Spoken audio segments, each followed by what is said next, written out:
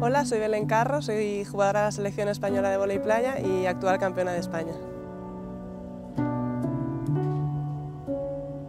Hola, soy Ángela Lobato, soy jugadora de la selección española de volei playa y también del circuito europeo y mundial. Comencé a jugar a volei en el Club Voleibol Majadahonda. Bueno, empecé unos, unos años antes en el Colegio San Jaime con mi, con mi profesor de Educación Física y, de ahí ya me dijo que me federase, me federé en el Club Voleibol Majadahonda y, y ya me vine aquí al centro de volei playa. Pues yo comencé a jugar al volei eh, en, en, Nerja, en mi pueblo, con 12 añitos, en una escuela de, de allí del pueblo y, y, bueno, empecé con mis amigas como un hobby y poco a poco pues fui avanzando. Siempre he sido muy deportista y, y me gustan mucho los deportes, entonces eh, hacía hípica, he hecho pues, natación, baloncesto, he hecho un montón de deportes y a raíz de que unas, compañeras mías insistieron en que me apuntase a voleibol, pues me apunté y decidí probar y, me encantó.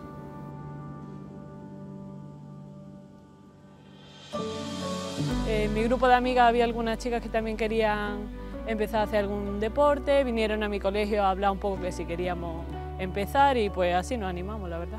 Me di cuenta de que me podía dedicar a esto una vez que, bueno, primero cuando mi profesor de educación física me dijo que me veía a futuro, que me federase.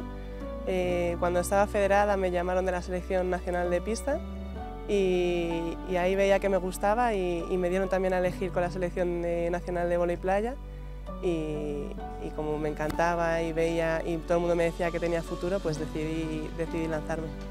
Eh, pues me di cuenta de que esto iba en serio cuando ya, pues una vez que pasé de juveniles o así, eh, empecé a competir en voleibol playa, pues a nivel campeonato de Andalucía, luego campeonato de España.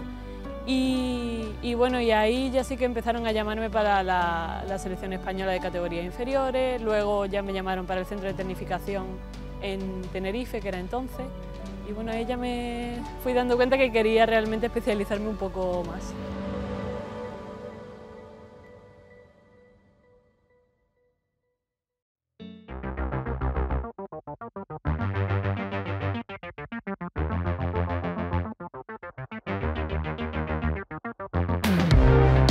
La función de alto rendimiento del centro consiste sobre todo en, en el trabajo de desarrollo de, desde los más pequeños hasta los más grandes. ¿no? Por aquí tenemos desde sub-18, que son los primeros campeonatos de Europa, hasta los que pueden ir a unos Juegos Olímpicos, como, pueden ser pues, Amaranta, Ángela o Belén y Paulo el año pasado, eh, con esa Continental, Pack, con Continental Cup. Esa es un poco la intención, poder llegar a todos para el desarrollo del, alto nivel.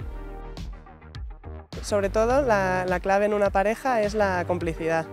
Eh, también, por supuesto, que, que, las dos sean trabajadoras, yo creo, y, y, pero sobre todo eso, la complicidad y que nos entendamos bien dentro del campo y tener una buena relación y una, y una confianza entre nosotras.